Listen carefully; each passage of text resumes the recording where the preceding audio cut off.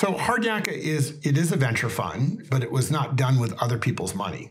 The funding for Hard Yakka came from fortuitous investments in Twitter and Square, and then doubled down by investing in Bitcoin and Ether, especially in Solana, and a bunch of other startups that are common names today.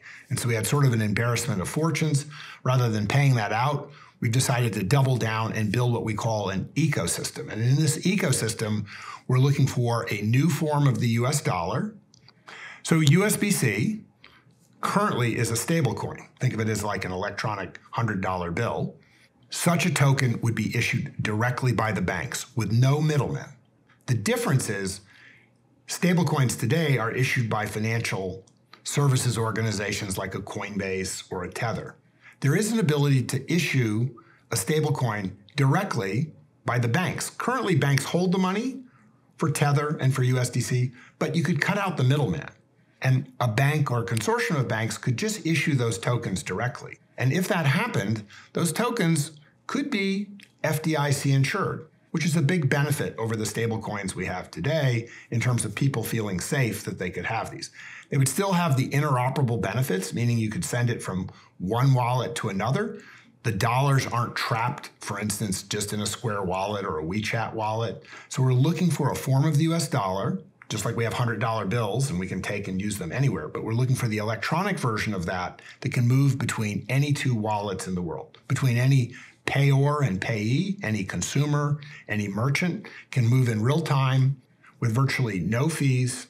And so we're on the cusp of doing that. And so USBC would be our alternative to one up what Tether and USDC are today by cutting out the middleman.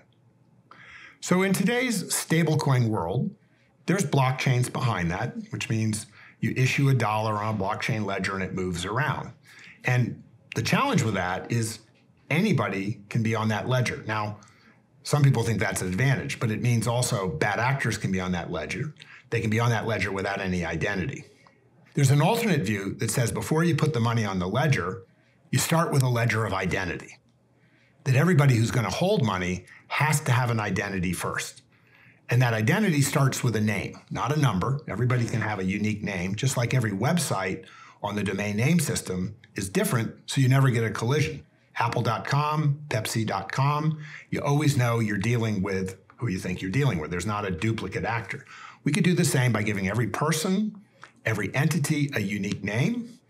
And to that name can be a bundle of sticks attached. It might be your social media messages, it might be credentials like your driver's license, your medical records, your right to vote, but it could also be your money. And in this particular case, it could be a form of a US dollar that is attached. And the ledger that keeps track of who has how much all across all the people and entities, it's a universal ledger to go with the universal namespace. So, whenever you're transferring money from one person to another or one party to another, it doesn't need to go through a complicated clearing and settlement system. It's just on a flat ledger. It's like one big Excel spreadsheet that's indelible, auditable, with the proper controls, could have privacy preserving, and yet still could be compliant. And so the universal namespace, the universal ledger, and something called verifiable credentials, which means your way of proving your phone number, your driver's license, the fact that you have a financial account or graduated from a particular university, means that as long as that credential is written correctly, it doesn't matter what wallet or application it comes from, it's your credential. And you can share it with whoever you want. So you combine those three things a universal namespace, a universal ledger, and a universal standard for verifiable credentials and you have the foundation for a compliant version of what's already operating out there via Tether and USDC with less controls. And so this is a way of bringing the safeguards that are in the traditional financial system to mesh with the advantages and innovation of blockchain technologies so that everybody can get access to payments options, the ability to hold money, potentially earn yield in the most inclusive, efficient way possible extending this besides and beyond the 5% of people that live in the United States to the other 95% of the world.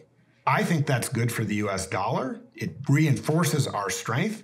It's not about America, it's really about the US dollar. And you know, big supporters here of that for safety and soundness reason. I just think that that's the best alternative, using the technology behind Bitcoin and Ethereum, but building it for the US dollar itself.